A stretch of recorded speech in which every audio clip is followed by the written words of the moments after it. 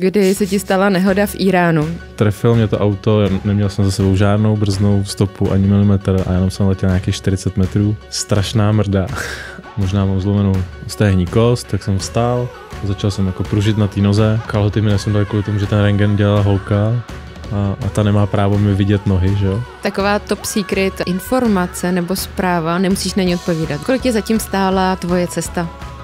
Tak pokud beru motorku mínus, to už je plus, ne? Teď to všechno prodal. No, stejně jsem furt hodně mínus.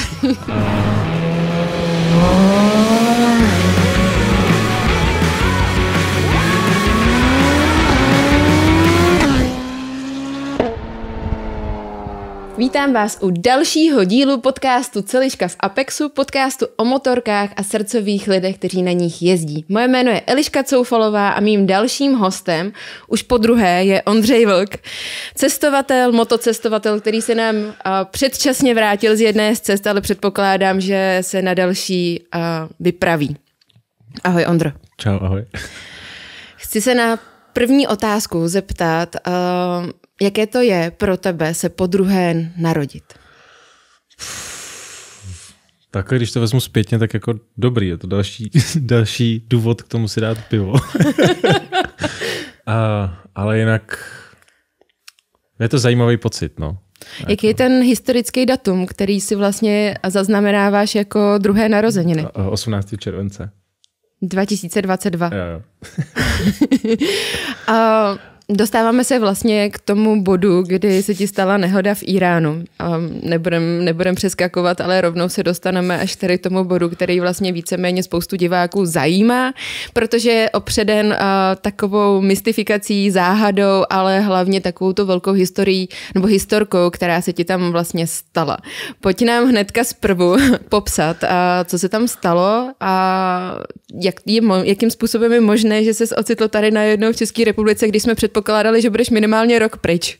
Uh, no asi to bude dlouhá historka, jo, ale já jsem vlastně dojel po nějakých měsíci a půl, co jsem směřoval odsaď na Nový Zéland, tak jsem dojel po měsíci a půl do Tabrízu, do Iránu, kde jsem se na oběd, v kousek za, za Tabrízem jsem se naodbědval a pokračoval jsem dál směrem na Teherán, protože jsem potřeboval vyřídit pakistánský víza, aby jsem mohl pokračovat dál. A smě, pak jsem jel směrem na město Mian a nějakých 35 km před Mianem, uh, kdy jsem se pak dozvěděl, že to je nejbe, nej, asi třikrát vyhlášená jako nejnebezpečnější silnice v Iránu. Mm-hmm. To mi pak kluci říkali teda. A tak jsem jel po silnici, celkem široký, jel proti mě kamion. Uh, ten kamion začal předjíždět auto, tak jsem jel ke krajnici, jak to je normálně jako člověk dělá, protože tam se předjíždí furt. Jenomže nějakých já jsem nějakých 80 a 30 metrů přede mnou začalo další auto předjíždět, ještě to auto, co předjížděl kamion, takže jeli tři vedle sebe. A předpokládám, a já, že takhle široká ta silnice nebyla. No hlavně já už jsem neměl vůbec čas nic cokoliv udělat, protože to bylo fakt jako vteřina. Mm-hmm. A jenom jsem jako řekl, tady to asi vypít páte do, do píči a šel jsem nahoru. Mm-hmm. No a trefil mě to auto, neměl jsem za sebou žádnou brznou stopu ani milimetr a jenom jsem letěl nějakých 40 metrů strašná mrda. A, a dopad jsem, no, hrál mi muzika v uších, tak to bylo jak z hororu, to bylo hrozně vtipný. A chceš říct, jako, že ti pískalo v uších, anebo ne, že jsi tam měl inter, hudbu? interkom puštěný a ta hrála dál, já jsem takhle minutu, minutu a půl ležel na zemi, teď mě jako tělo takový jako v adrenalinu, tak mm-hmm. jsem mhm. potom po té minutě uh, začal hýbat rukama, říkám, je to dobrý. No a strašně mě bolel uh, levý stehno, protože jak se chytla, jak jsem dostal tou tu ránu, tak jsem, tak jsem vohli řídítka a, a ty řídítka mě praštily do, do levého stehna, takže mm. mě mhm. strašně, jak kdybych dostal 10 koněrů najednou prostě. A pak jako jsem začal hýbat nohama, tak říkám, to je dobrý, možná mám zlomenou stehní kost, tak jsem vstál, začal jsem jako pružit na té noze, mm-hmm. říkám, tak dobrý, nic tam ne, jako ne, nepřeskakuje nic, tak asi není zlomená, jenom jako to je nějaká mega rána. Začal mi otejkat palec, protože jediné, co se mi stalo z té nehody, uh, byl zlomený palec teda. Na ruce, ne na noze. Na ruce, no. Který se asi, asi v zrcátko nebo co, mm-hmm. to mhm. vůbec netuším. A vlastně po té nehodě jsem vstál a začal jsem tam chodit, fotit to, jak je to tělo prostě úplně jakože i když tě to bolí, jako tak... nouzový režim, no, víceméně jako, pod sebe záchovy. No a... a říkal jsem si, když to nikdo nenafotí a nenotočí, tak už to nikdy mít nebudu, protože je. ať už jako pro nějaký vymáhání něčeho nebo něco, tak hned jsem myslel nějak takhle krizově kdy ty Iránčany zavolali eh, záchranku hned, policajty a já a zůstali jsem, všichni na místě, když tě Zůstali všichni na, na, na, místě. Nikdo neodjížděl, všichni jako tam to zůstali. auto, který předjížděl, tak ty jeli dál, že všichni jako pokračovali dál, nic se neděje, jenom to auto, který byl totálně nabořený, který fakt nemohlo jet dál, tak, tak tam zůstalo. No a nejlepší bylo, že já jsem měl jednu čárku 4G mm-hmm. a, a volám mamce kvůli, jako, protože jsem potřeboval hned číslo na ambasádu a, a na pojišťovnu tak volám mamce do Čech a říkám, měl jsem nehodu, trefil mě auto, jede pro mě záchranka a vypadla, vypadl signál, že jo. No, tak pak naštěstí nějak WhatsApp, přes WhatsApp nějakých za 10, za 15 minut jsem mu něco odeslal, ale mm-hmm. jako moc, moc příjemný nervy Chudák, jsem, mamka, já si jsem... přesně pamatuju, jak jsme tady probírali vlastně tu roli rodičů no, v minulém podcastu. No, tak, tak úplně to pro ně nebylo teda. A tak mi mamka poslala číslo na ambasádu, zašlo to hned řešit jako s pojišťovnou, která mm-hmm. pojišťovna fungovala trošku jako nemoc podle mě, jak by měla. Uh, ale zavolal jsem hned na ambasádu, tam to zvedl prostě nějaký, já říkám, můžu někým mluvit z Čech, jo, jo, tak mě přepoje na konzula a říkám, jako jsem driver, teď jsem tady kousek za Tabrízem měl nehodu, jede mm-hmm. úplně na, auto na kaši, motorka na kaši, jede pro mě záchranka a, a jedou jsem policajti, ta, ta ambasáda zareagovala úplně jako skvěle, že hned, jestli potřebuji překladatele, tak ať hned volám, mm-hmm. že všechno hned přeloží. No a právě pak přijel policajti jako první, a kdy v tom začali jako chodit, hned jako uh, jsem zavolal té ambasádě, začali překládat a ten policajt říká té překladatelce, jako, že chodím, že to nevypadá ani tak hrozně, jako, že jsem měl nehodu a že se v podstatě jako nic nestalo. Ne? Tak mi ambasáda říkala, že bych měl jakoby víc hrát. Ale že v těch, v těch zemích to jako funguje na to, že když jako oni vidí, že ti něco fakt je, no. takže to berou jako víc jako uh, serious. Mm. No a Uh, Takže v tu chvíli Ondřej Vlk lehl na zem a začal to ne, já, jsem, já, jsem jako, já to nesnáším, no, jak jsem hrál fotbal a fakt nesnáším nějaké jako simulace, mm. vždycky jsem hrál přes bolest a všechno. Tak jsem to tam dofotil, lehnul jsem si a čekal jsem na tu záchranku. A jak jsem si lehnul a čekal jsem na tu záchranku, jak ty nohy začaly přicházet k sobě, mm-hmm. tak dostali tu ránu.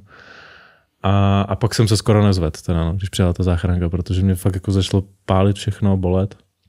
Brněly mi nohy. A je no. to i tak, že máš adrenalin v těle a taky ten půd sebezáchovy, tak se snaží to tělo vlastně ještě fungovat jo, v asi jo, nějaký no. Vůbec, jako já jsem měl takovou nehodu poprvé, takže to bylo takový jako dost nepříjemný. A potom, co přijela záchranka, tak to bylo taky dost komický, protože ty mě naložili, hodili mě, ani mě nepřipásali v té sanice, jeli jsme těch 30 km do... To už novou cestou? Ne, ne, to bylo jako normálně, jo, to byla normálně asfaltka, těch 30 km a to bylo samý zatáčky, jak já tam lítal takhle ze strany na stranu v té záchrance. Ještě na, jsme naházeli moje věci do auta, vlastně z motorky, které byly utrhané všechno. Mm-hmm. A, takže jsme to naházeli, přijeli jsme do té nemocnice, tam mě dovezli uh, na lehátku do velké místnosti, jak z nějakého filmu a, a tam bylo 30 lidí vždycky za plentou venku a tam ten doktor chodil mezi těma plentama, že to nebyly pokoje nebo nějaká vyšetřovna, ale, ale dělali to všechno jako na chodbě. Mm-hmm. Tak jsem si říkal, no to bude zajímavý. Jak jsi no. tam cítil zrovna v ten okamžik? Všichni na mě koukali dost divně. Tím, že jsi bílej, a ne, nebo cizinec, nebo že no, se ti jako něco stalo na motorce, nebo jako, z jakého důvodu? byl jsem motorkářským, mm-hmm. což mhm. tam je jako, to vůbec neexistuje tam.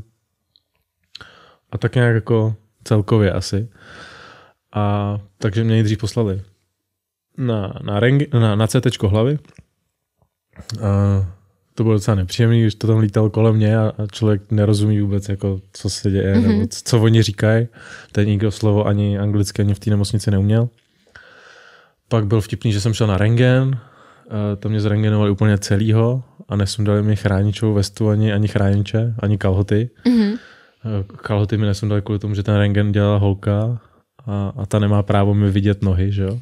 A z celý nemocnici to nedělal muž? Uh, doktor byl chlap, no, jinak okay. jako většina to dělala ženských. Uh, a pak ještě jsem šel na sono břicha, takže jako pak jenom řekl, jako, ukázal dobrý, tak to jako jsem říkal v klidu a, a nevěděl jsem vůbec, co se bude dít, co bude. Mm-hmm. Nebo. Pak přišel policajt nějaký s tím, že mám něco podepsat a říkám, já tam nerozumím, kliky, háky samý, všechno prostě. No a v tu chvíli najednou se objevil Mohamed a začal mluvit anglicky a říká, no on tady byl táta a říkal, že tady nějaký turista, který mluví jenom anglicky a, mm-hmm. a já jsem učitel angličtiny. A tak jsem ti přišel pomoct přeložit. A já úplně, tyjo, Hezky. úplně jako boží. Takže tam se mnou byl, přeložil mi vlastně všechno, co se děje. A jsem říkal, jestli můžu teda zavázat nějak ten palec, protože to mi řekl, že ho mám zlomený. A pak se mě ptal Mohamed, kde spím, protože mě asi pustí z nemocnice. Protože Jako v ten nemám... den, co se ti stala nehoda No. a po těch všech možných No, vyšetřeních, mi řekli, tak řekli, že- že, tě normálně pustí. No, že mě pustí, že tam nemusím zůstávat pozorování. pořádku, jo. no, což jako jsem říkal OK. A Mohamed se mě ptal, kde spím. A já říkám, hele, já nevím vůbec, nic netuším, já jsem tady, já jsem přijel do toho města záchrankou, neviděl jsem nic vůbec, mm-hmm. jenom jsem viděl nemocnici. Ani nevíš, kde máš motorku, nevíš, kde máš Nic, soukromé nula, věci. Vůbec. A Ty soukromé věci jsem měl sebou teda mm-hmm. a batoh s dokladama furt u sebe. Tak on říkal, tak já zavolám kámošovi. No a zavolal Alimu, který přijel autem. Nebývají takhle spojený vždycky Mohamed Ali? No, úplně jako. A ten Ali byl shodou okolností syn jednoho z nejbohatších lidí v celém tom městě, což to město bylo velké jak Budějce, takže mm. pán měl farmu s 50 tisíci kuřatama na maso. Mm. Obrovský rejžový pole. A ty mě vzali k sobě domů, celý patro vlastně v obrovského baráku jsem měl pro sebe, že celý vlastně třetí patro toho baráku byl připraven pro hosty, já jsem byl jediný host. A to mi asi jako zachránilo celou, jako celý život, celou tu situaci tam, protože uh, oni pak ty kluci se mnou týden jezdili po všech možných, mm. možných úřadech a po všech jako tam to je fakt jako nonsense, jestli tady, já jsem si říkal, nadáváme na místní byrokracii, tak to fakt je furt nic, tyjo. tam je to úplně psycho. Klikni na odebírat, pokud nechceš přijít o další podcast. Můžeš nás poslouchat také na Spotify či Apple Podcast.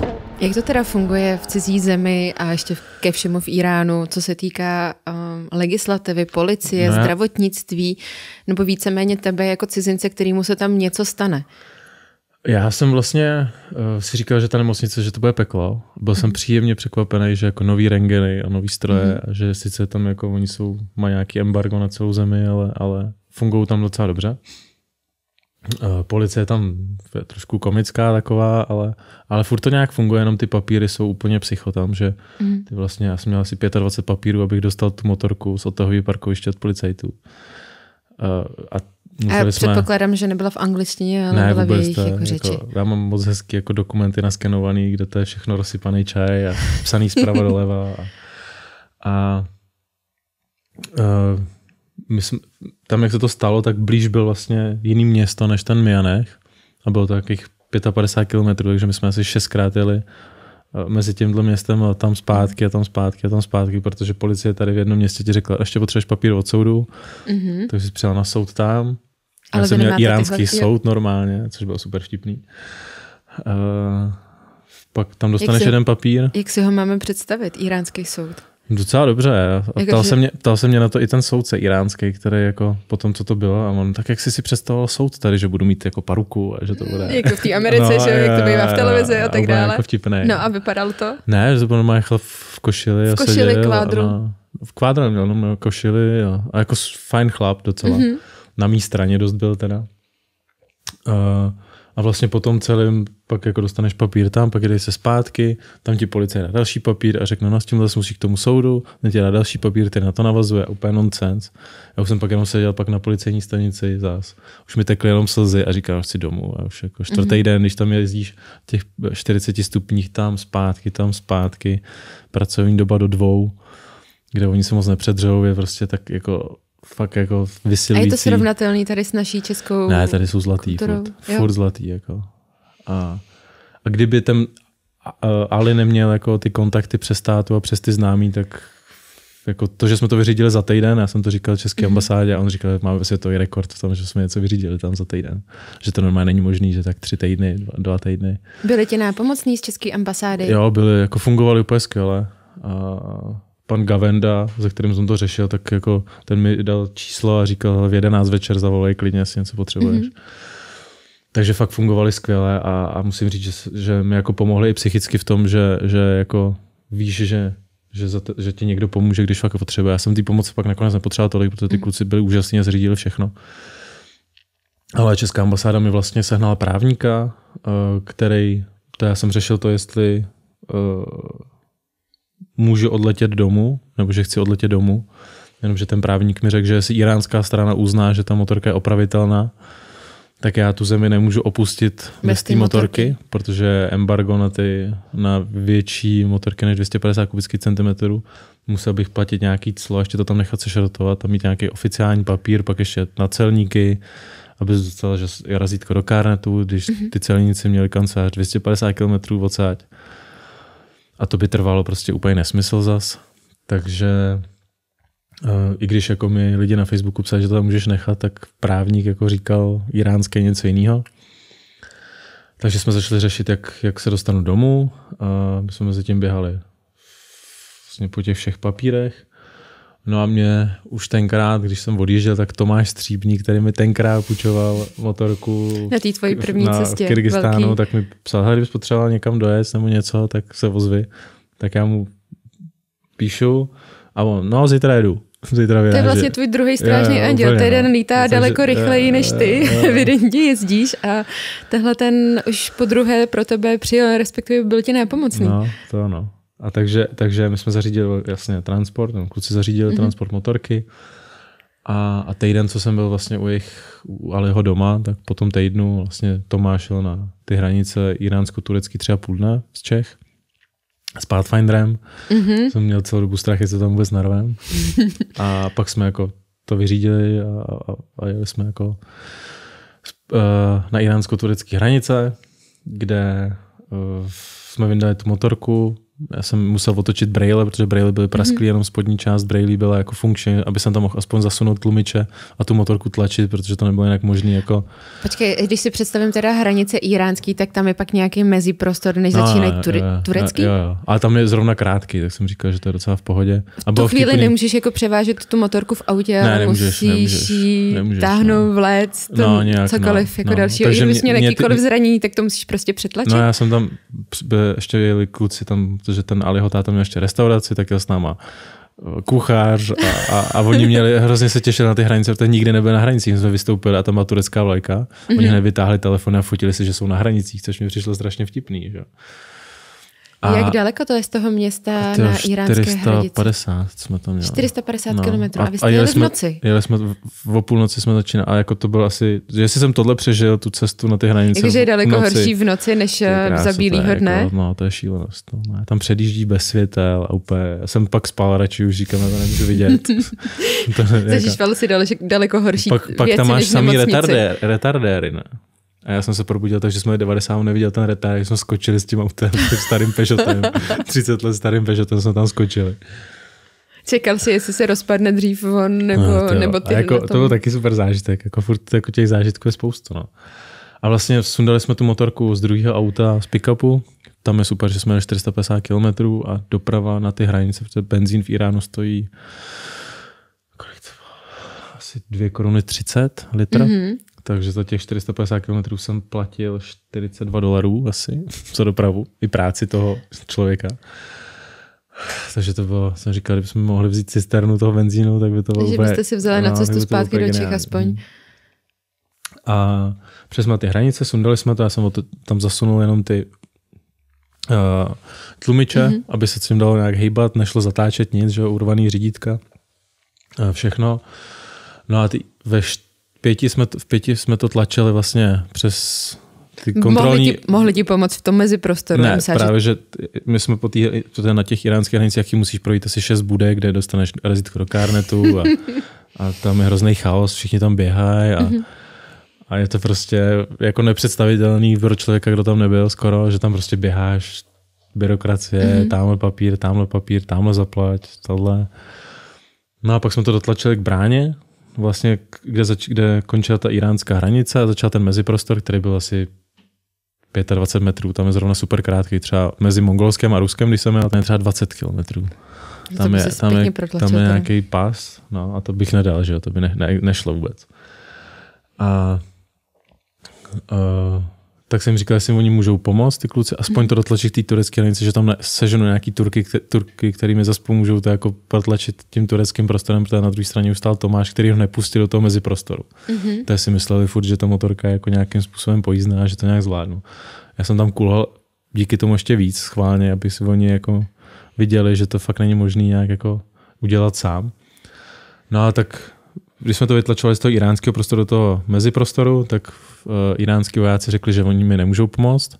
A když mě viděli, tak řekli, tak, už tak, mohli. tak, tak, tak, jo, tak pomůžte. A šli za, my jsme takhle tlačili tu motorku a oni ze samopalama šli za náma, aby ty kluci nechtěli nějak zdrhnout. Že? Jo, tak. Teď jsme to zatlačili k té turecké části a ty kluci zase vytáhli telefony a už se fotili 20 selfiečka a všechno. A bylo to taky jako komický. No pak jsem to přetlačil na tu tureckou stranu, tam, tam byli dva kluci, který jsem dal asi 3 dolary za to, že mi, že mi mm-hmm. jako pomůžou.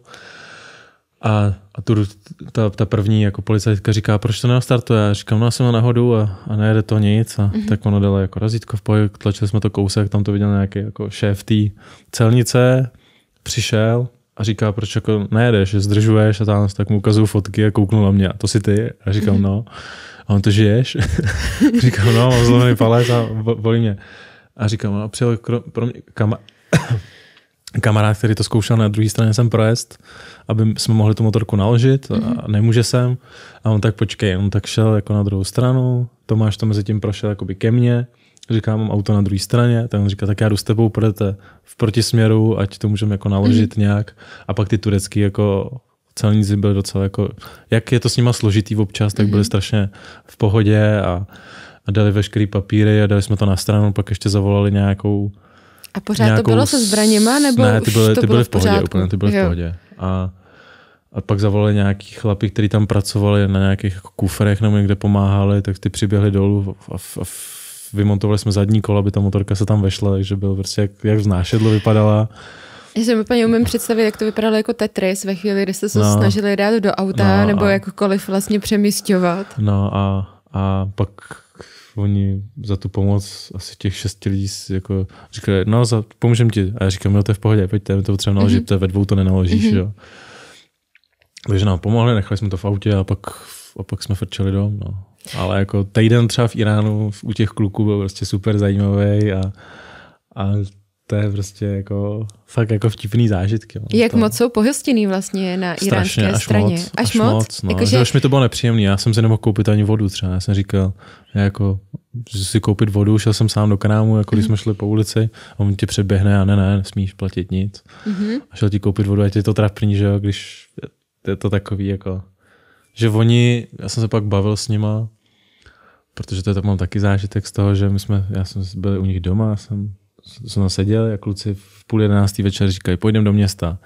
A já jsem, než jsem byl do Iránu, tak jsem slyšel jako historky o tom, jak jsou tam underground party, jak si oni dělají vlastní pivo a alkohol a, mm-hmm. a že tam najdeš nějaký party. Tak jsem říkal, ty konečně se něco děje, bude sranda, bude nějaký pivo.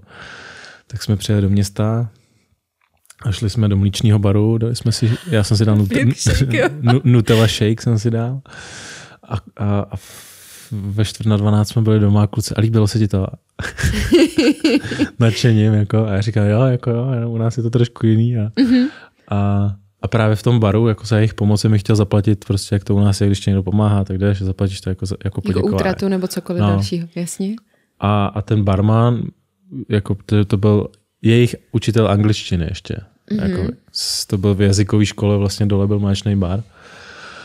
A, a ten říká, jako, že ať to vůbec neskouším tady, že to stejně jako, že je to proti jejich kultuře. A jako říkal to přátelsky a všechno a že se mi to nemůže nikdy mhm. podařit, protože kdyby to, jako, si nechali za, za sebe zaplatit ty kluci, tak se to rozkřikne v tom městě a oni budou jako za nejhorší prostě ty lidi v tom městě, protože podle Koránu, podle jako jejich náboženství musí být pohostinný. Musí být pohostinný a, a cokoliv se na ten host zeptá u nich doma, tak jim to musí dát. Takže ty se zeptáš jako můžu si tady vzít chleba a on ti musí, nemůže ti říct ne, že jo.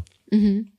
Takže ne, jako nemůžeš za, za něj zaplatit a, a já bych jim hrozně chtěl, jako, tak říkám, tak přijďte na, do Čech. A, Myslíš si, že je reálný, že se oni dokážou do Čech dostat? Díky tomu, že ten Ali uh, je syn toho docela bohatého chlapa, tak myslím, že docela jo. Mm-hmm. A myslím si, že bych byl schopný i teď s těma kontakty na ambasádě jim pomoct s, vízem, jako aby dostali vízum do Čech. Mm-hmm.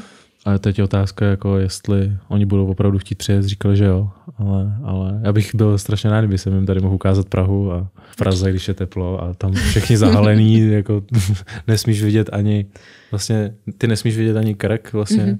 Šátek furt, nebo, nebo jsou zahalené, nesmíš vidět obrys těla, takže oni mají furt jako chodí v prostěradlech, že A teď byste viděl holky, jak tady jdou v šortkách, mm-hmm. koukají půlka zadku a, a ty bys toho byl vedle mě úplně jako hotový, ne? To nejzajímavější ze zákulisí v Apexu najdeš na Instagramu Apexu a Stropcast. Nezapomeň nás sledovat. Je něco, co tě hodně nemile překvapilo z toho celého příběhu, který vlastně si zažil?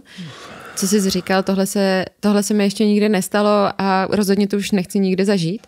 Tu byrokracii, no. Mm-hmm. To, mhm. jako, to, to, jako, to bylo, ani ta nehoda nebyla tak hrozná, jako prostě ty papíry, kdy cítíš tu bezmoc, jako furt ještě nedostaneš peníze za tu motorku, že jo, protože to je jiný systém a tam, když jsme byli na pojišťovně tam, tak mi řekli, že to budou počítat podle toho, jako kdyby to byla uh, iránská motorka, která nová stojí 900 dolarů, že to budou počítat jako opravu, kdyby to byla iránská motorka a dělal to mhm. iránský člověk, kdy tam je hodinovka třeba euro 50, díly tam stojí nic, že jo, takže jestli něco za tu motorku někdy vůbec dostanu, tak to bude jako směšný, směšná částka, super za to, že mám zničenou kompletně motorku a, a takže, takže jako to mě nemile překvapilo, ale i tak bych tam měl zás, protože ta země je prostě super zajímavá a mě nejvíc na tom mrzí, že já jsem vlastně ten měsíc a půl jel po zemích, který, ve kterých jsem byl, mm-hmm. všude. A furt, jako je to hezký, ale furt tam nemáš to jako ten moment toho překvapení, že to je něco nového nebo, mm-hmm. nebo něco jako, že jsi z toho hotový. A přijel jsem první den do Iránu, energie a úplně nadšený a všechno nový a úplně jiná země a jiný písmo a úplně jako si fakt jako natěšený. No a druhý den po obědě mrt a konec, že Myslíš, že to pro tebe je úplný definitivní konec, anebo ne. že se tam budeš chtít rozhodně vrátit, jo, případně určitě. cestovat dál, protože ty jsi to měl naplánovaný na rok, ne na díl? Na díl, no, snad ještě. Jako určitě tady tu cestu chci projet, protože jsem se hrozně těšil do Pakistánu. Mm-hmm. Hrozně jsem se těšil na týdenní eskortu se samopalama, co s tebou jede jako z, z iránsko-pakistánských hranic až do Kvéty. Mm-hmm. Kde vlastně jdeš přes Balučistán, kde tam je území Talibanu, tak s tebou jede eskorta, která podle fotek vypadá spíš jako super komicky, než tak jsem se strašně těšil na fotky, které z toho budou. A videa ani z toho mít nebudu, no. takže jako si říkám, že tam musím vyrazit znovu, protože... Tak nic nebudeš mít teď, já jsem, ale... nedělal, já jsem nedělal do Magaranu, kam jsem chtěl jet, nedělal jsem tohle, takže já mám furt co dohánět. Ty jsi vlastně na našem prvním natáčení podcastu říkal, že od tebe, pro tebe začíná cesta až od třech týdnů. Kolik jsi strávil, nebo třech měsíců jsme říkali? Já myslím, že ne, po třech týdnech. Třech týdnů. No. Kolik jsi strávil teďka na té svojí cestě? Nějakých sedm, osm. No. no vidíš, už to začalo být jo, cestou. Tak já to neberu, tyjo. mě to nepřijde, že jsem nikdy nebyl. Tyjo. Přijde ti, že jsi nezažil to, co jsi chtěl zažít? Máš to ještě otevřený, nebo ještě čekáš na to, co ti v úzovkách jako, vesmír přinese? Já furt tak nějak jako, to nemám uzavřený, že furt to nějak jako, se to nějak vyvrbí. Mm-hmm. A jako furt na Zeland poletím, určitě to tam mám pracovní výzum, takže na Zelandu si koupím motorku. A tam máš nějaký predu. limit, kdy tam musíš dorazit? Do července, no. Do července 2000, se tam 2023, musíš... no. Jo, tak Ale... máš ještě dost času. Jo, teď mám letět ještě do Gruzie, provázet na motorkách, tam jsem se potkal se skvělýma lidma. To jsem si právě všimla, na tvých sociálních sítích bylo hodně evidentní, že tě to chytlo a že jsi opravdu setkal se svojí krevní skupinou, jo, aby jsi mohl projet Gruzii na lehčích motorkách, než máš ten Ergo 700 a to jste jeli na Husqvarnách 701. Jo. Jaký to pro tebe byl zážitek a respektive už jsme viděli všichni na tvých očích, jak záříš na všechny mílové kroky a strany. Boží úplně, jako to nedá, to se fakt nedá popsat, protože já jsem jako, ať už jsem byl v Gruzi po čtvrtý, mm-hmm. tak to bylo vždycky jako po, jdeš do Užguly, pak jdeš do Omala, do Šatily, do těch takových jako super známých už jako míst, kde je to mega nádherný, ale furt je to jako není nic nového a už to začíná být turistický. Co vím, tak letos už, když jedeš do Omala, tak na vrchu Abanopasu si paní otevřela karaván a prodává tam espresso a kafe a zákusky. A to začíná to být takový jako Povýšení na vyšší level, jo? No, a právě jako jsem se potkal s, s Milanem Vlasákem, to byl úplně halus, jak jsme se potkali právě, protože já jsem přišel do Gruzie a před Iránem jsem potřeboval měnit gumy. Mm-hmm. A den, když jsem přijel do Gruzie, tak jsem si všiml na, na motorkáři na cestovních endurech, jak je na Facebooku, ano. tak on tam zrovna psal, že dělají tury po Gruzii jako na lehkých motorkách. Tak jsem mu psal, hele, ty tady žiješ, nevíš o nějakém, jako, kde můžu koupit gumy. On jo, ráno ti, nebo večer ti zavolám, ještě tak jsme se chvíli se bavili, co potřebuju, kde. A říká, že se pokusí něco sehnat. No a ráno mi píše, že mě zná, že viděl to video, že se mu to hrozně líbilo. A že viděl ten film vlastně můj. A že gumy sehnal a že se můžeme potkat jako na pivo večer u nich, jako než pojedou uh, na ten týden. Tak, tak jsem tam přijel a říkám, no, tak můžeš jít s námi jeden den. Tak říkám, tak jeden den mám, že jo. tak jsem s nimi jeden den úplně, jako jsem přijel úplně energie, boží, totálně jako nářez. A, a říkají, no tak můžeš jít zítra s náma. A říkám, to jako času mám dost, no. Tak jsme měli druhý den, no třetí den. jsme řekli, tak teď už ten týden tady můžeš zůstat. A uděláme si to nějaký video, nějaký fotky a říkám, no to by asi šlo. No. Mm-hmm. Takže jsem s nimi byl týden a bylo to úplně boží, protože jsme za ten týden tyjo, marně vzpomínali, že jsme potkali turistů vůbec, nebo někoho jako Jeli jste jako mimo, mimo civilizaci lidí neproskoumaný. My jsme právě jeli ten dolní Kavkaz mm-hmm. a, a Milan tam žije strašně dlouho a dělá tam helisking a takové věci. A ty cesty má na, jako na, najetý tak, že když končí už ta sezóna toho heliskingu, tak letí tou helikopterou a vidí ty cesty za těch 60 let staré mm. cesty. A pak jako se do Buginy projede si, jestli to je vůbec možný projet a, a pak jako jedeš po cestách, které jsou 60-70 let staré vojenské cesty a, a triálový pasáže, pak jedeš po nějaký jako přejezd, kde je rychlej, kdy můžeš letět kilo, kilo 20 na té na, na tý 700 jedničce, pak zase přejedeš jinam, pak jsme jeli den, kdy 30krát brodíš řeku jedno, furt to je tam. Už jako nemůžeš a furt brodíš a furt brodíš a furt brodíš.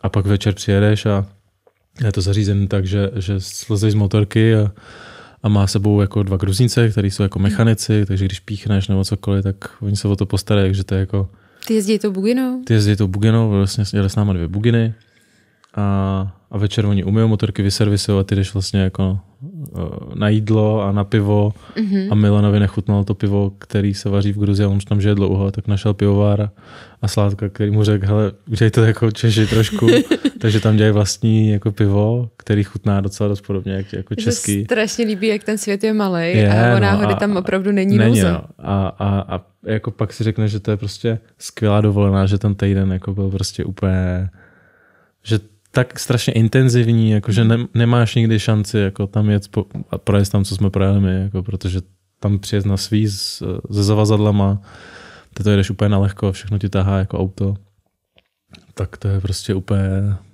to je jako fakt si to užívá, že to je prostě příroda neskutečná, samý výhledy. Mm-hmm. To, to prostě asi musí člověk zažít, musí zažít, že, no, že to nejde ani popsat, že to prostě fakt, fakt ti pulzuje celý tělo, když pak vyjedeš nějaký ten výjezd nahoru, nějaký mm-hmm. jako a potkáš pastevce a všichni tě zdraví, všichni jsou příjemní, potkáš ty lidi tam a jedeš fakt terénem, který jako je, je na něčem větším místama průjezdný. K čemu se to dá třeba tady v Čechách přirovnat? Je něco takového, nebo vůbec by Podle mě tak jako Rumunsko, tak před jo. 30 lety možná. Taková když, ta surovost Jo, je tam fakt jako místa, jedeš, které jsou fakt jako tam nedotčený, prostě fakt surový, jedeš prostě, jeli jsme blátem, ty úplně, že jsme měli, já jsem měl bláta za ušima všude úplně.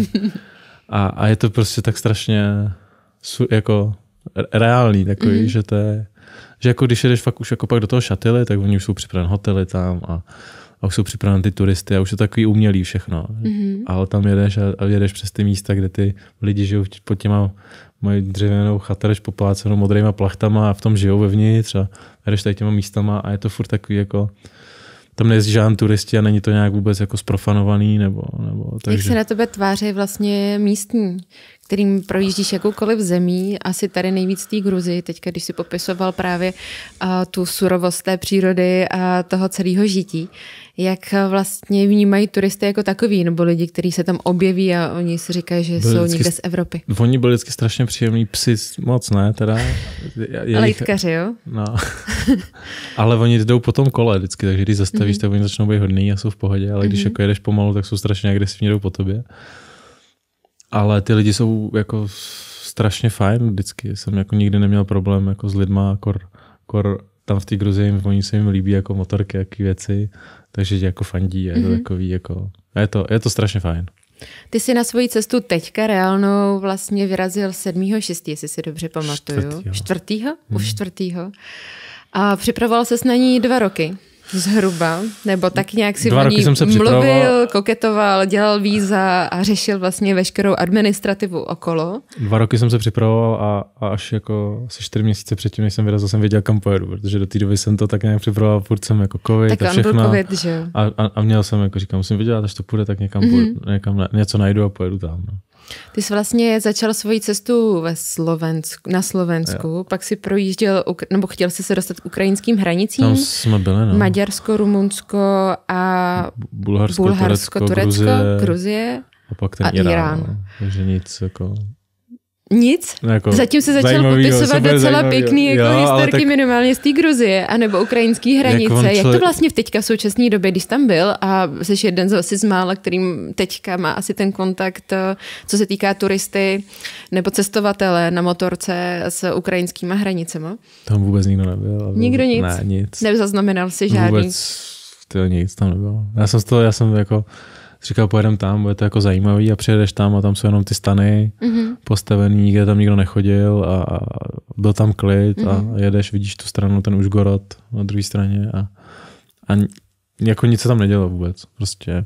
A oni by i mě pustili na, na, na Ukrajinu, Mm-hmm. že jako s pasem by tě tam pustili normálně. Ale to jsem mamce nechtěl dělat, protože kdybych jí řekl, že jsem na Ukrajině a jako v dnešní době s médiem a ze vším, tak by to asi nebylo úplně příjemný. Jasně. Takže jsem říkal, tak to nebude jako hrotit a, a jeli jsme dál jako podle těch hran, sl, slovenských hranic dolů. A, a jeli jsme do Maďarska no, pak. Tam jsem ještě jel s klukama ze Slovenska, který mě provázel vlastně celou, celý Slovensko a pak na první pumpě v Maďarsku jsme si dali na nouk a já jsem dál sám. No. S tím, že jsem myslel, že to bude dojedu mnohem dál. No. Když se zamyslíš, protože vím o tobě, že ty si to předchozí cestu, co jsi měl, tak eh, jsi byl většinu času sám. A kolik času si z té svojí cesty, co jsi byl teďka, prožil právě sám na té motorce, protože začátek si měl s lidma a cestovatelema nebo lidi, kteří chtěli vyprovodit, doprovodit. To je asi dva dny. Nebo Dva tři. dny? No, to já jsem furt někoho potkával. To bylo furt jako, to bylo super jako z jedné strany. Já jsem se teda těšil, až budu sám. Tak v Iránu jsem byl jeden, den- jeden noc sám tam určitě. A možná v Turecku asi chvíličku. Mhm. Ale jinak jako furt s někým jsem se potkal, pořád s někým. Z Čech a teď letos jelo hrozně kluků jako z Čech a Slo- Mhm. ze Slovenska na, na, do Gruzie, pak jsme se vždycky někde potkali, popili jsme a, Mhm. a bylo taky jako, bylo to fajn. Hele, jedna Ondro z častých otázek, si myslím, kterou dostáváš na sociálních sítích je, bude tady z toho, tvýho výletu nějaký video? Minimálně z tady toho krátkého, neříkám, asi předpokládám, že se budeš chtít ocitnout ještě na různých koutech světa, tak z toho asi něco bude. Ale tady z té krátké části, pro tebe krátký, pro nás asi, co to vnímáme z okolí, tak zase to úplně tak krátká nebyla. Asi něco, jo, něco mám, ale já se k tomu nějak musím jako psychicky dostat. Teď vůbec nemám, já, jako, já jsem ne, od té nehody měl fakt problém vytáhnout vůbec kameru, jako, že jsem neměl náladu vůbec to točit. Mhm. A foťák jsem od té doby nevytáhl, že jsem udělal snad jako jednu fotku jako velkým foťákem. To bylo, když jsme Tomášem, s Tomášem měli domů a to je poslední fotka jako foťákem, co jsem udělal. A, a musím se k tomu nějak jako asi až se to odleží nějak, jako všechno, co se stalo Mhm. mm-hmm. a, a jak to jako to zase nevyšlo. Co jsi uvědomil, že uh, čeho by si třeba lidi měli víc vážit? Co ti brnklo v té mysli a řekl jsi, tak tohle je něco, co bych chtěl Asi předat dál? Asi, že jde všechno vyřešit z jedné strany, Mhm. mm-hmm. i když je to v Iránu teda. Tam to jako, já jsem pak byl, poslední den jsem dával plnou moc Alimu, ať mi může zastupovat u soudu Mhm. mm-hmm. a najít právníka. A tam byla notářka a ta říkala, no před dvěma lety tady měl Alžířan nehodu a ještě ne, ne, nedostal auto z- od, to, od té policie. Před dvěma lety. Mhm. Mm-hmm. A jako asi by se měl asi vážit toho, že ten systém, ačkoliv je tady, tak furt funguje nějakým způsobem. A když si myslíme, já jsem si to myslel, že nefunguje, tak furt funguje. Mm-hmm. Mhm. A, a je to furt jako super snadný a, a tam je to prostě úplně všechny papíry, ručně, půlka papíru napsaná ručně a, a online většinou nic. Mm-hmm. Mhm. A, a, a je to takový jako hodně psychicky náročný tam cokoliv vyřizovat. No. Měl jsi nějaký moment, na který si vzpomeneš, že jsi říkal, já na to kašlu a tohle už nemá smysl, nechte mě být, nechte mě žít, já už nechci nic a taková ta frustrace, deprese a věci, které se vlastně jako běžně dějí u lidí. To jsem asi jako po té nehodě jsem to měl, jako že mm-hmm. už mhm. nepojedu a že už jako na to nemám a že prostě už tohle nechci zažít nikdy a, a já jsem doma a říkám, ty teď nikam jako se mi moc nechce, už jako mm. nikam nepojedu a Kdy se to zlomilo? První den doma, První den do, doma jdu spát, pustím si, si pivo a... pustím si stereofonek, dám si pivo a říkám, to já bych někam jel. Mm-hmm. Takže nevím, je to tak jako nějak tomu sobě zakodovaný, že prostě musím někam jet zás a, a teď, ačkoliv nemám motorku, jak bych furt někam jel a, a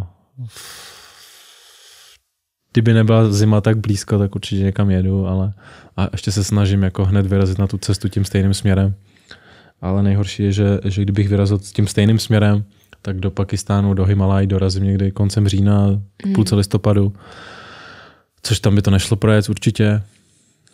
A na Kargundlu třeba bych se nedostal v Indii, že, kde to je nejvyšší cesta světa a, a, a to je prostě, kdybych to musel minout, tak jet kolem Himalají a nejezd do Himalají je prostě trestný čin, že mm-hmm. jako vejt tam na svý motorce a, a... A ještě to neprocestovat ani. No a neprocestovat a, takže, takže říkám, tak poletím na Zeland, vydělám peníze, pak se vrátím nějak, vezmu motorku a pojedu podobným směrem nějak když to bude, nevím. Ono mm-hmm. se to celý nějak jako...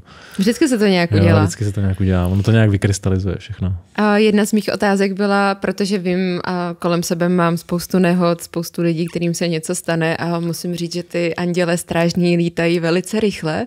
Já si myslím, že někdy třeba RSV 4 má 217 koní, tak já si myslím, že tyhle ty anděle musí mít úplně turmodny chvadlo a já nevím, co všechno. Kolik kilometrů za hodinu lítá tvůj strážný anděl? Já moc rychle nejezdím jo. Ne? V terénu jezdím rychleji než na silnici. Já na silnici fakt moc rychle nejezdím. A, tak, a v tý, při té nehodě jsem byl tak 80, mm-hmm. on 90. Ten anděl? Ne, ten to mě trefil. a takže tak tenkrát jako neměl to, nejel jsem tak rychle a, a stíhal mě dobře, no. Mm-hmm. A brácha to vystih, jako to je zlomený palec, že jo, tak říkal, ten tě držel tak silně za ten palec a chtěl zlomit, jo. Říkám, asi jo, jo. A když se vrátil zpátky do Čech, tak samozřejmě vidět se s rodinou, s mamkou, která má o tebe strach a taťkou. A co byly první věty, které ti dokázali říct rodiče? No, taťka řekl, ty vole, ještě jsi to přežil. Mm-hmm. a mamka v podstatě to samý, no. To je jako, toho jsem se jako bál nejvíc, no, že jako pak, když jako, se něco stane, ne, nebo... ne, nejhorší jako být pryč, ležíš v té nemocnici, mm-hmm. brní tě nohy, a fakt mě jako brněli hrozně moc, ta levá mě bolela strašně a to jsem se bál, jako, jestli tam není něco, to, to byla fakt strašná rána, tak jako nejhorší je, že, že víš, jako, že jsi tam sám. V tu chvíli jako to mm. cestování, když jde člověk sám, tak není úplně, jako, není úplně fajn, protože asi i pro, ty, pro, jako pro, pro mamku a pro taťku muselo být hrozný, že, že ta bezmoc, že, že já jsem Nemůžeš daleko nic. a vůbec nic nemůžeš. Jo. Že to je prostě, v tomhle tom je to jako blbý. No. A, to, a pak když přijedeš, tak to jako spadne. Já mám jako ještě s rodičima dost blízký vztah. Takže, takže to bylo takový, jako, že to z tebe spadne a říkáš, ty se doma. A sedneš mm-hmm. si na zahradu, piješ pivo a tak nějak jako se vnitřně uklidníš, jako že, že prostě jsem doma. Ale stejně bych, věci, stejně bych zase jel. No.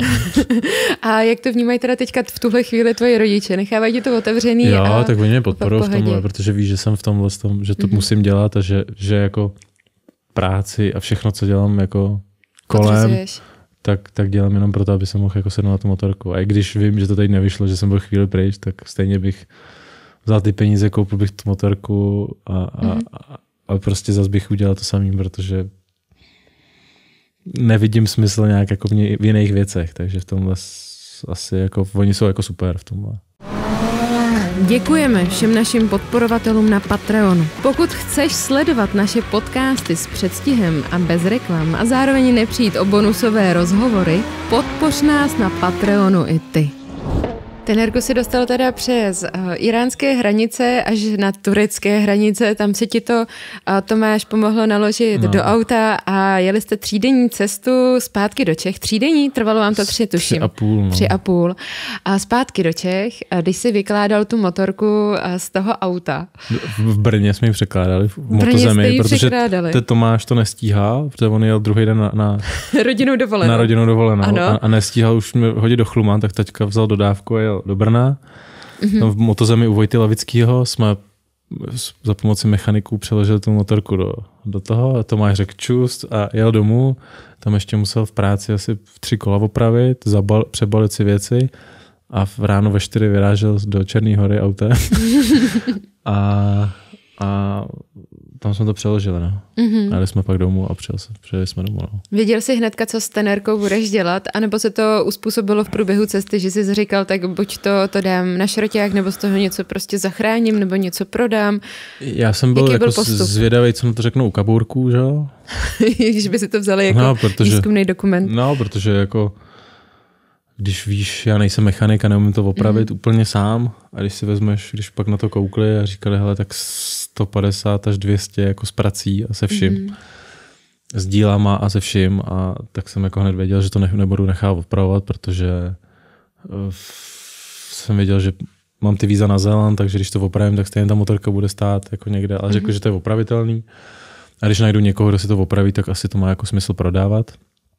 Na shodou okolností jsem eh, volal Martinovi Tománkovi z Yamahy, s tím, že jestli neví o nějaký jako motorce náhodou, jako, nebo na War Tradeu, nebo co by mohlo být jako brzo. Ano. A, a on říkal, že ne, ale že se zná právě s Matějem, co tady taky seděl. Z Gas and Oil, jo, ano. A že ten hledá bouranou motorku, jak jsem volal Matějovi. Matěj si se se chytl velice rychle. To Matěj říká, funguje Matěj, na první našlápnutí, bych a, řekla. A Matěj říkal, jo, tak se to líbilo a že se na to musí podívat. Mm-hmm. No tak to jako, a že se to přestaví nějak a, a že se to opraví nějak. A, takže ta motorka bude mít ještě nějaký jako svůj další život, příběh. další život a příběh. A já se těším, to s Matějem se známe. Takže se na ní třeba i projedu zase ještě někdy, když jsem myslel, že už je po smrti. A, mm-hmm. Ale motor je v pohodě, jako padáky od Outbacku, co jsem měl, tak sice jsou, jak když to přejel nějaký 600 tunový válec, válec to, to bylo skroucený, to je úplně, že tomu nevěříš. A, ale motor v pohodě. No, Matěj říká, můžeme to na, na, jako nastartovat na chvíli. Mm-hmm. Sice chladič bude prasklý a všechno voda z chladiče pryč. A říkám, no tak na chvíli, když to nastartujeme, tak se asi nic nestane. Vejfuk sundaný, tak jsme to nastartovali. Zvuk, ty jak za mladá. říkal, Neříkal jsi hele, že, že ji vlastně nedáš pryč a že si ji necháš? Já když jsem to přestavoval zpátky, aby, protože všechny ty věci, které jsem na to přidělal a mhm. tlumiče a všechno, tak jsem prodával zvlášť. A, tak když jsem to sundal, tak říkám, to ono to jako ty padáky fakt jako docela dost udržely, rám není hnutý, mm-hmm. ale ty, ty součástky, které byly prostě jako rozbitý nebo na tom, tak jsou stejně drahý a já bych to sám neopravil. Takže i ta, ta oprava té motorky, která by trvala, nevím, třeba dva týdny, kdyby to bylo mm-hmm. kaburko, měl na to čas, tak by stejně stála nesmysl, protože prostě hodinovka, všechno kolem, což A ty prostě jsi říkal, logický. že nejsi úplně tak zručný na to, aby si to no, vytvořil sám. No, přesně. Ani bych se na to bál sednout, kdybych si to upravil mm-hmm. sám. A tak prostě by se vyšpahal na takovouhle cenu a, a opravil bych to a byl by nevím, jako kousek před zimou nebo kousek před podzimem mm-hmm. a pak bych stejně letěl pryč, tak říkám, to vůbec nemá smysl jako to opravovat. Že? Jaká je teda současná situace? Teda jsem, tenerka je prodaná, díly prodaná. jsou prodaný z ní. Jo, jo, včera jsem prodal tenerku. Teď je Ondřej Vlk bez motorky, po... projel se na Voltrainovi a co bude dělat? Těžká otázka, viď? Já jsem neříkala, že by ti budu dávat lehký teda. As, jak bych ho teď koupil, kdybych neletěl jako pryč, mm. ale tím, že letím pryč, tak hlava říká nekupuj nic, protože bych koupil motorku a ta by ležela rok, rok a půl v garáži. Já si myslím, že nikdo by se obětoval, kdo by ti jezdil. Jo, jo, to určitě, ale já bych to nedal. a, a takže asi poletím na Zéland, tam si koupím tenerku mm-hmm. a projedu Zéland na tenerce, tam ji pak prodám, pak se vrátím do Čech, koupím World Trade nebo něco a pojedu a uvidíme, jaká bude situace v Rusku, buď pojedu na Magadan nebo pojedu na Pakistán a Nepál, no. takže ono se to nějak Vždycky se to nějak jo, vyvrbí. Prostě, Ondro, otázka jako... na tělo. Bude to vždycky tenerka, nebo to bude jakákoliv jiná motorka? Vyběhla ti tam i nějaká myšlenka, vůbec, že bys si vůbec. Já vybral cokoliv jiného? Úplně. Jakože mě sedí tak strašně, mm-hmm. že, mhm. že jsem jako vůbec ne, jsem nepřemýšlel, že bych jel na něčem jiném. A navíc jako fungovala furt a mm-hmm. to měl 40 tisíc na to a myslím, že to viděl docela dost a, a, a prostě nic, pohoda. Takže, takže, takže vůbec jako na myšlenky na něčem, na něčem jiném. No. A co se týká Yamahy, protože samozřejmě tvoje motorka byla najednou v takovém destruktivním stavu, když to řeknu, nebo aspoň potom, potom velký nehodě, tak eh, nebyla úplně kompaktní. A nezajímala se třeba Favbrika nebo kdokoliv jiný, že by se poučila nebo viděla vlastně takovýhle ne, obrovský vůbec, náraz. Vůbec, vůbec. Nechtěli jako výzkumný materiál na jako kdybych, dalšího. tak bych jim ji prodal, že rád. ne, ne, nic, nula. Ale jako musím říct, že i přední tlumiček, po kterých jsem měl staré, byly dost drahý, mm-hmm. tak ty cartridge to přežili, což jsem byl úplně jako super překvapený, že se trošku sice vohly uh, vidle jako sami, mm-hmm. ale tím, jak praskly ty přední braille a všechno, tak to přežilo, my jsme to vyndavali a, a jako jsme říkali, to, kontrolovali jsme to fakt jako dlouho a prostě jsou furt v pohodě. Měl bys nějaké doporučení pro lidi, kteří by se chtěli tebou inspirovat jako cestovatelem na motorce a kde by měli třeba začít, anebo případně kam by se měli na svoji první cestu třeba vydat? To je těžké. Protože jsi pro spoustu lidí určitě inspirací a chtěla by jít třeba v tvých šlépějích. Jako ve šlépějích to... nikam nedojezd, vždycky se vrátit domů, tyjo, si to naplánovat, tak se přijet znovu. Tyjo. Asi tě tady někdo něco jako láká, evidentně, no, že se sem no. furt vracíš. Uh, asi se nebát, jako prostě, mm. nebo as, já bych mohl inspirovat, že ty nezdary stejně jsou jedno, že to stejně za to stojí, takže tím možná bych mohl inspirovat a, a jít asi jako za tím srdcem nějak, jako kam tě to táhne, tak jeď a, a ono to nějak dopadne a když to nedopadne, tak jsou z toho dobrý historky, že? minimálně z mléčního baru. tak to rozhodně. a nějaké doporučení, jaká cesta pro ně by mohla být ta úvodní, kde by si mohli otestovat, jestli jsou schopní sami, dejme tomu, odcestovat do zahraničí na nějakou větší cestu. Já bych řekl, že jako, já nevím, jestli jako spousta lidí bere jako Gruzie, že už je jako daleko, že to je velká cesta, mm-hmm.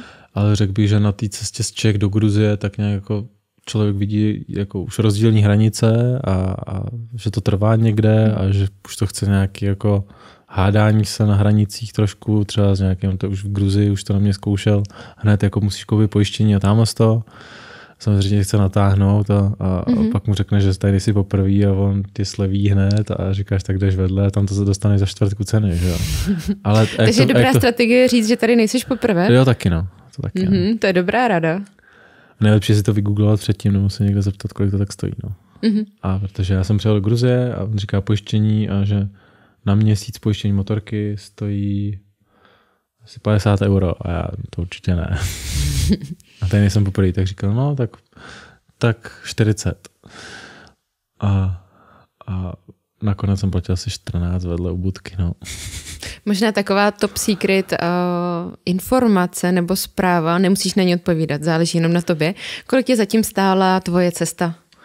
Tak pokud beru motorku mínus... to už je plus, ne? Teď jsi to všechno prodal. No, stejně jsem furt hodně mínus. A... to já to radši ani nepočítám. To chápu. Protože pokud si vezmu, jenom indický výzum mě stalo tak s cestama, protože to byl strašný problém dostat indický výzum já z Rakouska snad šestkrát do Prahy, protože mm-hmm. furt něco chtěli. Mm-hmm. Tak to máš jenom cesty a to je třeba jenom indický výzum, Mohlo třeba 12 tisíc, jenom indici, aby to, jako když si to spočteš fakt všechno čas a všechno, tak možná ještě víc, no. Tak mm-hmm. jako, když se to pak na, na A to je jenom jedna země, že jo? No, pak ty ostatní jako byly relativně v pohodě, ale, ale motorka a, a servis a gumy a a všechno kolem, pak ta cesta samotná a pak motorka mínus, mm-hmm. tak já to nechci radši to nechceš ne, počítat. protože bych pak si říkal, má to cenu. A tak to, ne, to má cenu. Tak to nepočítáš, říkáš, ale to má cenu a neřeš to. Peníze budou, mi ne. No. mm-hmm. Kor teď to ještě vidíš jako jinak, když, když tomu unikneš, tyjo, to bylo fakt asi o, kousek, no, když už si jako, jsem si říkal, já si říkám, že jsem byl u převozníka na břehu, na druhý a ještě jsem nemusel jet, no. Musíš předplácet toho anděla, ono to jako no, jinak nepůjde, to byla, že jo? To byla fakt strašná rána, no. Mm, tobě vlastně tebe zachránila taková ta ducha přítomnost v tom, že jsi vyletěl, vyskočil z té motorky velice rychle. Dá se na takovouhle situaci připravit, myslíš? Já bych řekl, že celý život sportu, hrál jsem fotbal, tak máš nějaký ten Půl sebezáchovy nebo reflex? Reflex, reflex vybudovaný mm-hmm. toho, jako jak padnout nebo jak jít nahoru, jak si jako protože já vím, že spousta lidí zůstane držet tu motorku a chce to zachránit. Jasně. A to je konečná, že protože kdyby jsem zůstal na té motorce, tak mě vystříhnou z auta a pošlu ve futrále domů. A, a tak nějak bych řekl, jako i to vtipný je, že jak se to stalo, tak já vždycky, když jsem padnul někde, nebo někde jsem, jako mi to ulítlo a svezeš se, tak si to nepamatuju. Že jsem se jako vždycky pamatoval, až jsem byl na té zemi. Tak Ani teďka nevím, si taky stalo. pamatuješ jenom hudbu, která ti hrála Ne, teď si pamatuju normálně zpomaleně všechno, co všechno? se stalo. Normálně úplně, jak kdyby to bylo prostě, kdyby kdy to jsem teď... letěl, tyjo, kdybych letěl normálně 10 vteřin, normálně si to pamatuju. To je úplně jako... A když jsi teďka seděl na tom Wartrainu, měl to na tebe nějaký vliv, následky? No, viděl jsem každý to v protisměru. Fakt? Měla, no. Není to příjemný, ale tak musím se to přesto nějak přenést. Mm-hmm. Jak myslíš, že se s tím dokážeš vypořádat? Předpokládám, jo, že jenom tím, že budeš jezdit. Jako to, že bych nejezdil, to už to nepřipadá v úvahu. Já jsem přijel, voláme babička, čau cestovateli, tak to doufám, že už na to nesedneš. Já říkám, no příští den si půjču motorku. Mm-hmm. no, a mamka se smála, že jako určitě, že to, to nehrozí, že bych na to nesedl. No. Pořád souhlasíš s tím, co jsi říkal vlastně v našem prvním podcastu, že cestování pro tebe je jako rakovina? Já no, o, očividně už jsem blízko. Rozlejzá se jako dost. Začíná být nebezpečná. Evidentně. Jo, to jako nejde, to nejde zastavit. Máš nějaké doporučení pro lidi, kteří nás třeba teďka poslouchají a chtěli by Vážení diváci, jestli máte nějaké otázky, napište nám je tady pod video. Já poprosím Ondru, aby nám na ně i odpovídal, protože Myslím, že těch otázek bude spoustu, ale díky našemu podcastu máte spoustu věcí i obezřejměno a budete vědět, jak se to vlastně má, jak se to bude vyvíjet a kam Ondra zase uh, ne vypadne, doufám, to, ale doufám, odjede. Že to za dva roky. ale máte určitě možnost Ondru jako spovídat pod naším videem a Ondro, chtěl by si něco divákům tady jako prostřednictví našeho podcastu v Apexu uh, sdělit, případně Případně jako to, že máme nejlepší pivo na světě. Oh. Ty už se těšíš, že tady otevřeš to pivo, jo, Ale nevím, jestli je vychlazený ještě. To, to nějak dopadne. Zvládneš to. Jaký jo. je nejlepší pivo? Plzeň. Teď se tady v komentářích nebo otázka jenom fight o tom, jak je nejlepší pivo. Dámy a pánové, jak já jsem, přijel domů, já jsem přijel domů a šel jsem do lednice a první, co jsem udělal, tak jsem si otevřel Plzeň. Tyjo. A měl jsi na výběr nějaký jiný, nebo tam bylo jo, jenom tam Plzeň? Byl, bylo tam i kozel, Piješ tmavý pivo nebo ne? Ne. To není pivo. a nejhorší bylo, že já jsem byl v tom Iránu jako v finále 12 dní a neměl jsem pivo, že? No to muselo být strašný. A 45 stupňů a teď najednou jako... To muselo být ale jako peklo. To je jako... A čím jsi to no. nahradil? No milkshakem z Nutella. Vítejte u, tady máme Ondřeje, cestovatele, který pije milkshake z Nutely. Přesně tak. Výborně. Tak já ti, Ondro, moc děkuji. Přeju ti hodně štěstí na tvých dalších já myslím, cestách. Že, že se tady potřebu, potkáme za no, chvilku no, znova? No, to štěstí. Já, myslím, já jsem ho měl toho dost, anděle, no, který by ti jako ještě dál jo. předjížděl. To jo, no. Takže, to nějak bude. Vždycky všechno dopadne. Jo, přesně. A takže přeju, aby se ti jenom a jenom dařilo v tvých snech a cestách. Děkuju. A aby ty plány, který máš, aby si splnil, respektive spisy v nich byl šťastný. A vám moc diváci přeju a děkuju za to, že nás posloucháte, odebíráte, komentujete a zároveň Ondrovi napíšete nějaký komentáře pod video a třeba dotazy. Tak jo, tak jo. Mějte se krásně, děkujeme a my jdeme ještě trošku nahrát nějaký bonusový díl, kdy budu mít na Ondru ještě spoustu otázek. Zás jo. Jo. Já myslím, že to nebude teď. A to víš, že jo.